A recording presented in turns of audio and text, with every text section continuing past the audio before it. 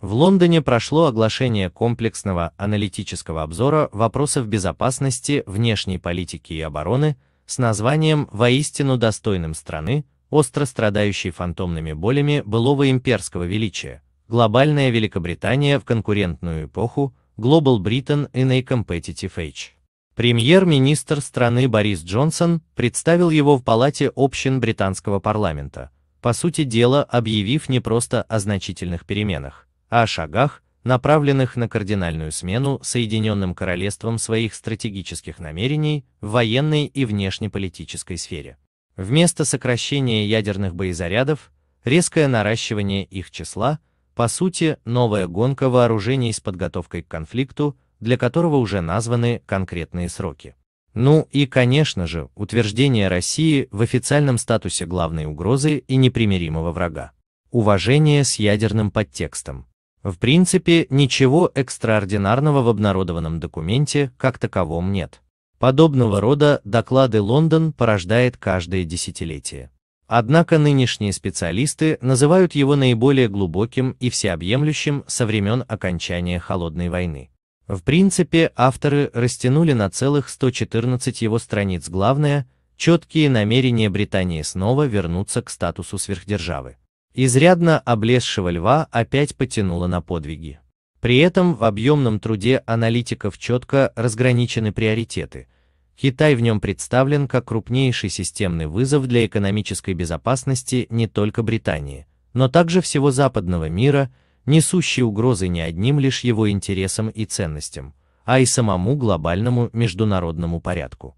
Тем не менее с Пекином, видя в нем основного торгового партнера, в Лондоне намерены поддерживать хотя бы видимость нормальных отношений. С Москвой совершенно другой разговор. Россия отнесена авторами доклада вместе с Ираном и Северной Кореей к числу стран-оппортунистов, которые своими злонамеренными действиями способствуют ослаблению безопасности и снижению уровня стабильности в мире. Одним словом, если не империя зла, то что-то очень к ней близкое. Наша страна прямо называется самой острой и прямой угрозой для Великобритании в настоящее время. Прямо штык от трехлинейки. И можно подумать, что хоть когда-то было по-другому.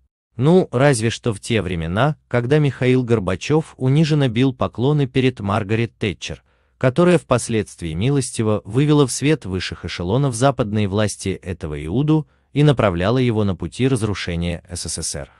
Во все остальные времена Великобритания была последовательным, самым коварным и опасным врагом России. Просто это далеко не всегда оглашалось открыто. Били, как правило, вот из-под тяжка, в доклад включены предельно лицемерные слова о том, что Британия, видите ли, испытывает искреннее уважение к России, ее истории, культуре и народу. Страну нашу Лондон, оказывается, любит чуть ли не всей душой, но вот с ее властью находится в самой, что ни на есть жесточайшей конфронтации. Она, эта самая власть, очень плохая, поскольку активно отстаивает в соседних странах интересы России и явно намерена делать это и впредь. По мнению Лондона, отстаивание национальных интересов – прерогатива исключительно белых сахибов, а не всяких там. Поэтому нашу страну намерены сдерживать. Более того, привлекать к ответственности за нарушение неких норм и правил, разработанных и утвержденных, понятное дело, представителями высшей англосаксонской мировой общественности. В общем, обычное дело и вроде бы ничего нового. Однако под все эти ритуальные песни британское правительство намерено протащить ряд решений, означающих резкую милитаризацию страны. Самое, пожалуй, главное среди них – это оглашенное Джонсоном намерение не только полностью прекратить идущий сейчас процесс сокращения британского ядерного арсенала, но и начать его существенное наращивание. Согласно задекларированным в 2010 году планам Лондона, количество единиц атомного оружия, которым располагает эта страна, к 2030 году должно было уменьшиться до 180 единиц. Теперь же, согласно заявлению премьера, это число, напротив, будет увеличено до 260 боеголовок, то есть на 40%. И вот тут возникает весьма щекотливый вопрос. А как данный шаг соотносится с договором СНВ-3, не так давно продленным Вашингтоном и Москвой? Ведь вооружения союзников США по НАТО в нем никоим образом не учитываются. Соединенные Штаты, возможно, что-то и сократят, да только британцы при этом нарастят количество тех же Трайдент, нацеленных на нашу страну.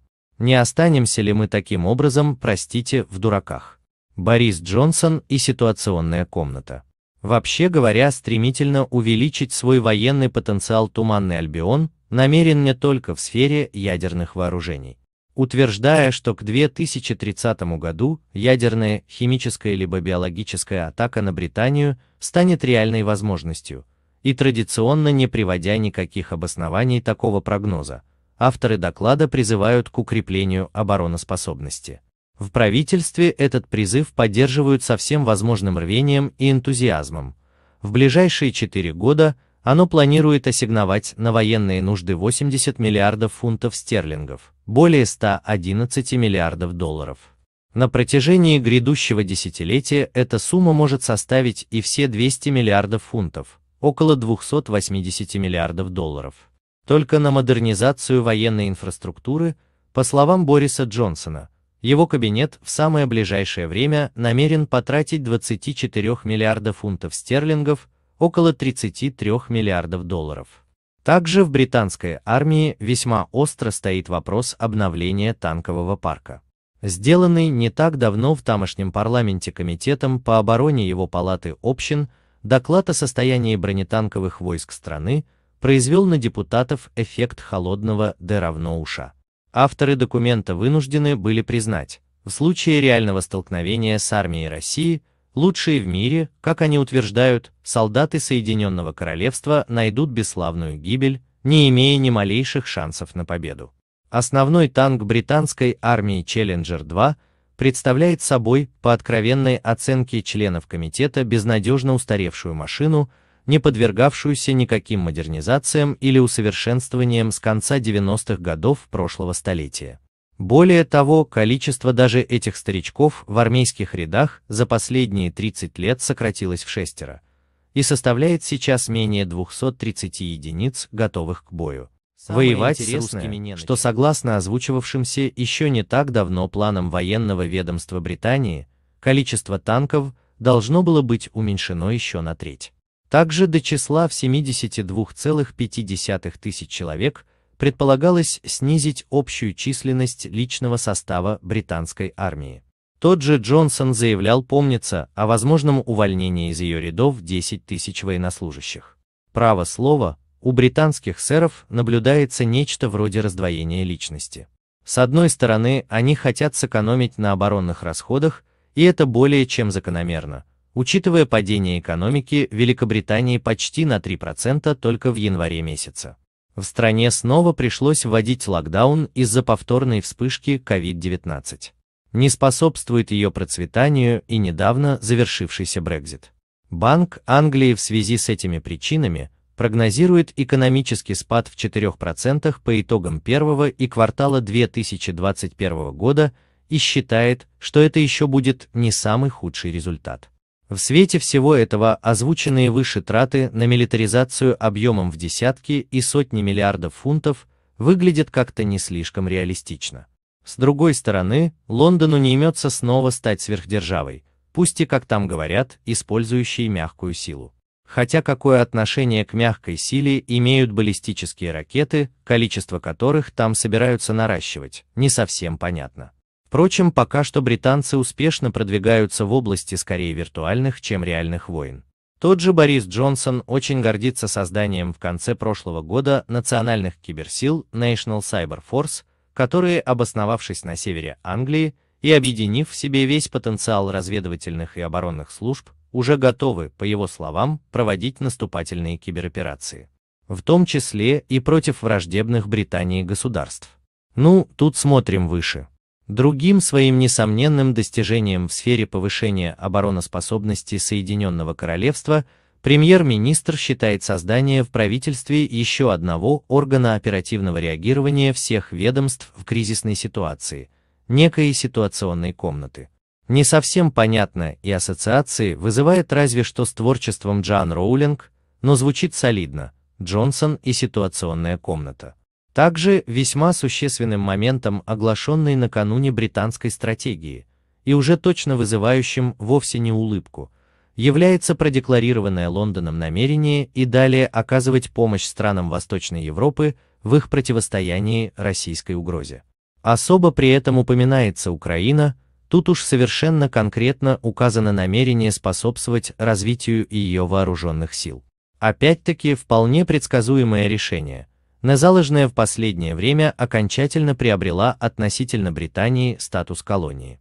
Ее президент по приезду в Лондон мотался к главе СИС за инструкциями, а английские вояки резвятся на украинской территории, устраивая высадки в подбрюшье России, как их далекие предки-колонизаторы где-нибудь в Индии или Африке. Едва ли не главная опасность для России от той враждебной политики, что веками проводила против нее Британия, заключалась и заключается как раз в том, что тамошние джентльмены стараются все грязные и наиболее кровавые дела вершить чужими руками, максимально используя при этом подконтрольных туземцев.